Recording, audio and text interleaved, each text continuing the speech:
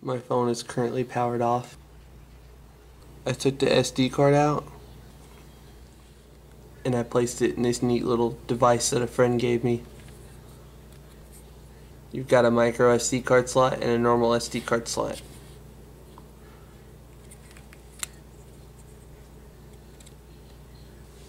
And then it pops up on the computer. And with the clockwork recovery that I have, you can put them anywhere you want to. But I'm still going to put them in the SDX folder. There's zip. And there's the zip that we're going to flash. 37 megabytes, almost 38. Now I'm going to safely eject the USB device.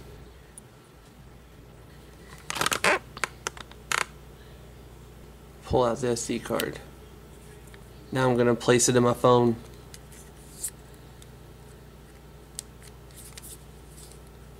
And reboot to recovery.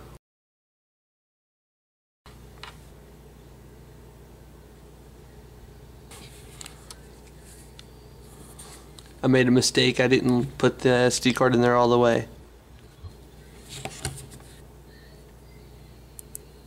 Reboot to recovery again.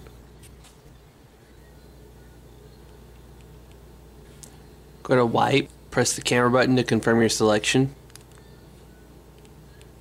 Dalvik cache.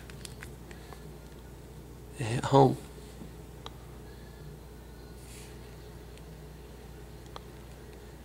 Don't choose the apply SD card update.zip unless you take the update.zip, put it on the root directory, and then you rename it to update.zip.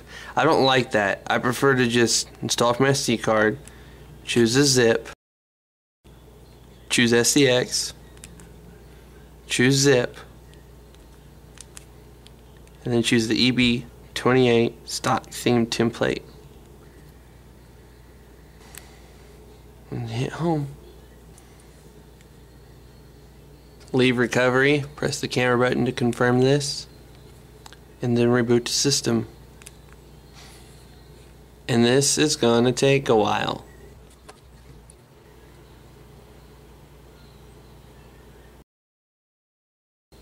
The best two apps in the freaking world, Handcent SMS and Titanium Backup. Titanium Backup Pro updated. Uh, I'm using this to back up all my apps and then I'm going to sync it to Dropbox.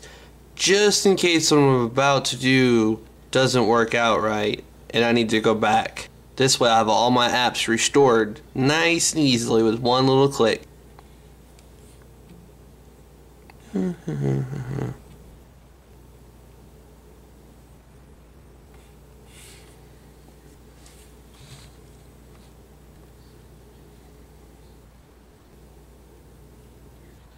Gonna choose this one right here. Hell no.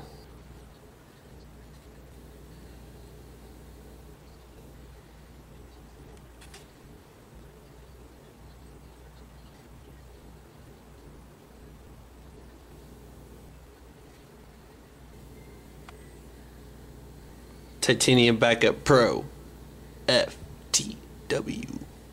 I recently purchased extended controls and it's freaking awesome. You can set widgets up here for like flashlight, force sync, reboot, shut down. If I push this one, my screen always stays on, it never turns off, which is really helpful when you're trying to do some things. And I got a little battery thing, even though I have my battery program up here called Battery Indicator Free. And instead of having notifications in the taskbar, I can just bring this down and click on it. And anywhere that I'm at I can quickly you know force sync keep my screen on whatever and then back gets me out of it. It's pretty awesome. That's what you get for using my video inside your video punk